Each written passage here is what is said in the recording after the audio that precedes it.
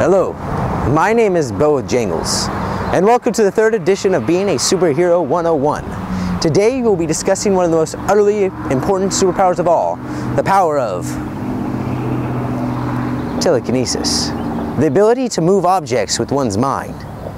For mind over matter. The great power of the ancients. With me today I have my lovely assistant Chase Jedediah Sunquist.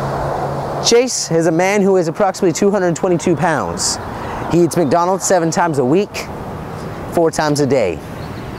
And I will lift him with just this baby right here.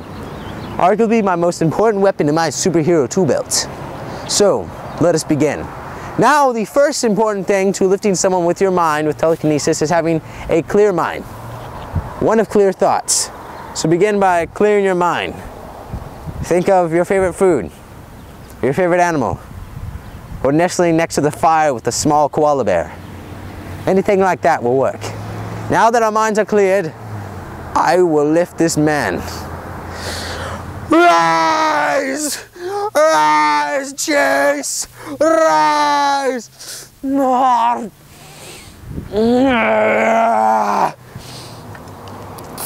Yes! Yes! Yes!